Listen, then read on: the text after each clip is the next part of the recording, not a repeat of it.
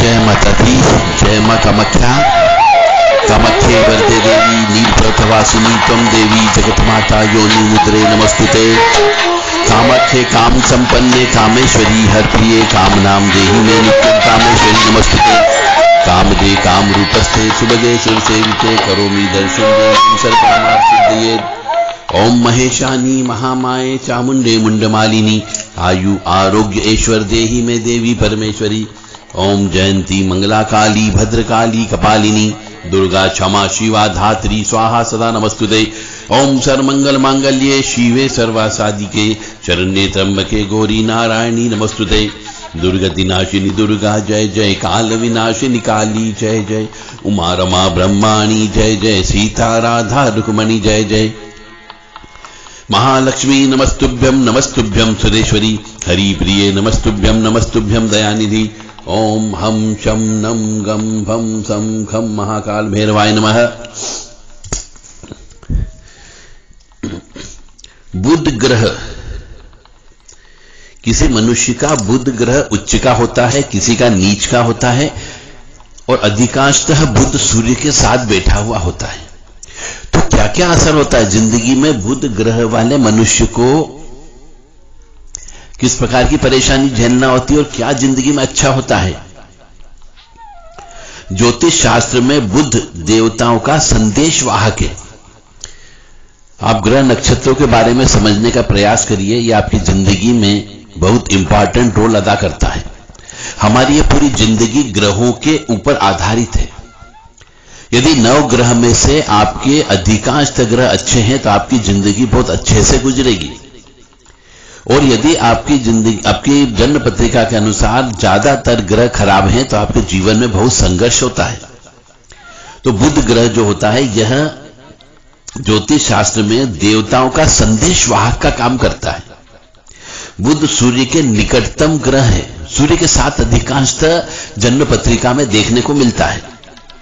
भारतीय परंपरा में बुध ग्रह को बुद्धि का प्रदाता कहा गया है। यानी बुध अच्छा है, यानी बुद्धि अच्छी होगी। बुद्ध यदि अच्छा है तो उसकी वाणी सिद्ध होती है। बुद्ध ग्रह के लक्षण की बात करें तो यह व्यक्ति में बुद्धि देता है, विवेक देता है, हाजिर जवाबी देता है, और हास्य विनोद का प्रतिनिधित्व भी करता है। यह एक शुभ ग्रह है, लेकिन कुछ स्थितियों में बुद्ध अशुभ ग्रह में बदल सकता है। बुद्ध एक तरीके से कम्युनिकेशन ग्रह है। यह व्यापार, वाणिज्य, कॉमर्स, खाते, बैंकिंग, मोबाइल, नेटवर्किंग, कंप्यूटर आदि से संबंधित क्षेत्रों का प्रतीक है। एक मज़बूत बुध इन क्षेत्रों में सफलता अवश्य दिलाता है। तो पहले यह पता कर लें कि क्या आपका बुध अच्छा है? तो आप इस लाइन में जा सकते हैं। और इस लाइन में आपको अवश्य सफलता मिलेगी। जैसे बुद्ध ग्रह जी अच्छा है, कारक ग्रह मतलब बुद्ध से संबंधित क्या क्या हो सकता है?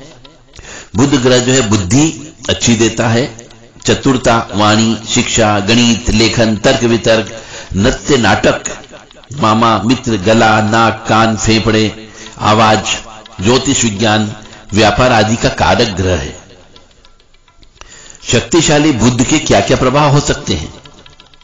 एक शक्तिशाली बुद्ध आपके जीवन के उपयुक्त क्षेत्रों में सफलता का प्रतीक है, जो मैंने ऊपर बताए हैं। ताकतवर बुद्ध वाले लोग तेज दिमाग के होते हैं। उनकी सोचने की शक्ति बहुत अच्छी होती है। लेकिन इनकी एक समस्या यह होती है कि चिंता और अनिश्चितता से प्रभावित होते हैं। बुद्ध एक दोहरी प्रकृति का ग्रह है। बुद्ध ग्रह ज्योतिष में दो राशि यानी चिन्ह अर्थात कन्या राशि और मिथुन राशि पर अपना नियंत्रण रखता है।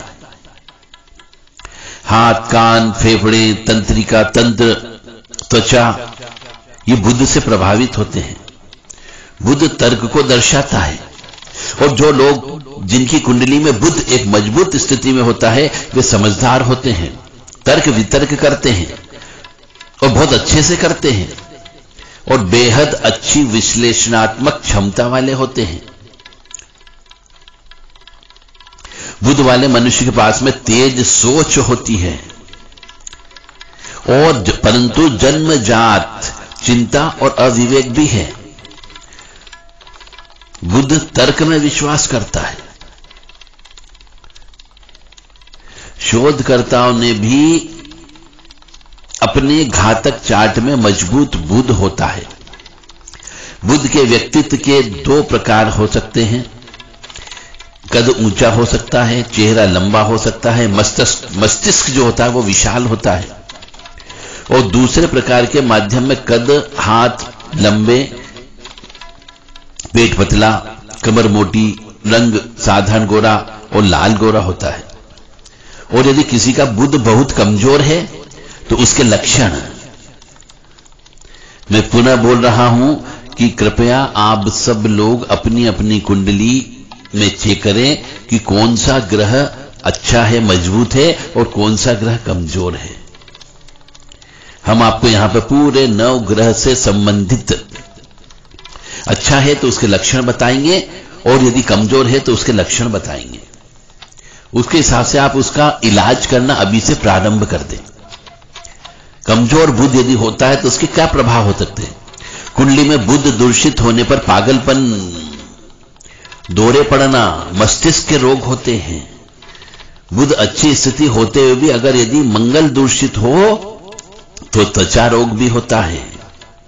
चेचक की बीमारी हो सकती है, खुजली की बीमारी हो सकती है, फोड़े फुंसी की बीमारी हो सकती है कोड़ हो सकता है। इस प्रकार यह बुद्ध की वजह से होता है।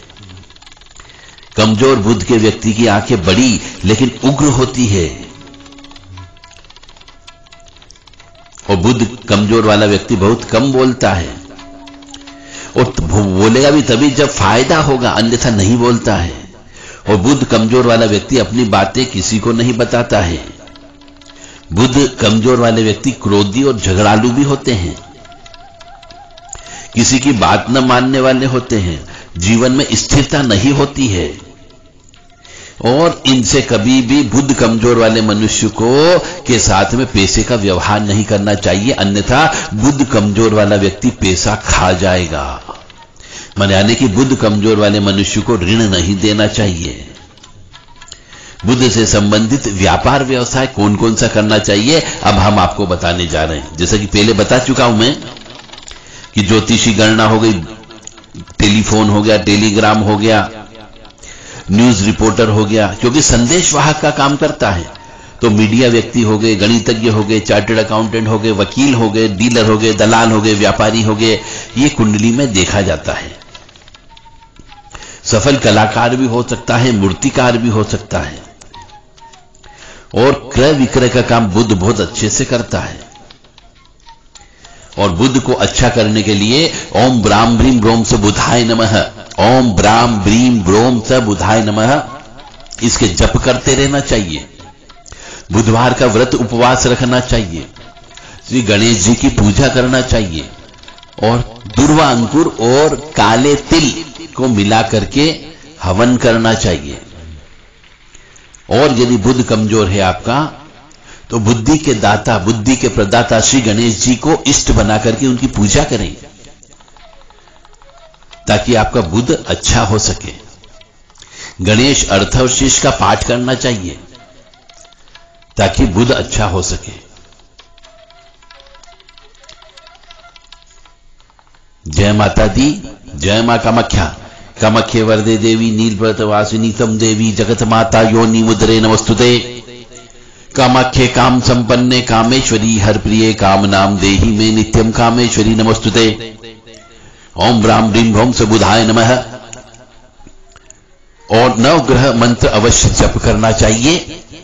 ओम ब्रह्मा मुरारी त्रिपुरांतकारी भानु शशि भूमि सुतो बुदश्य गुरुश्च शुक्र शनि राहु केतवे सर्वे ग्रह शांति करा भवंतु ये वाला जो मंत्र है, इस मंत्र का जाप ज़्यादा से ज़्यादा करना चाहिए।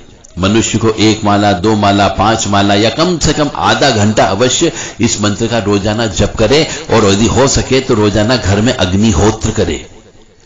अग्निहोत्र का मतलब होता है गाय के सूखे गोबर को जला करके उसके ऊपर घी शकर काले तिल से हवन करे। अब आप कहेंगे, मुझे हवन करते नहीं आता है। तो कुछ नहीं करना जो पंचदेव हमारे इसमें बताए गए हैं। उन पंचदेव का शुरू में नाम ले लें। और जिसका हवन करना हो, उस मंत्र को कंटिन्यू लगातार हवन करते रहे। कम से कम सत्ताईस आहुति अवश्य दें। इससे आगे जितनी इच्छा हो, आपकी उतनी देते रहें। निश्चित तौर से आपके ये ग्रह जो नकारात्मक आपको इफ़ेक्ट दे रहे हैं, वह धनात्मक इफ़ेक्ट देने लगेंगे।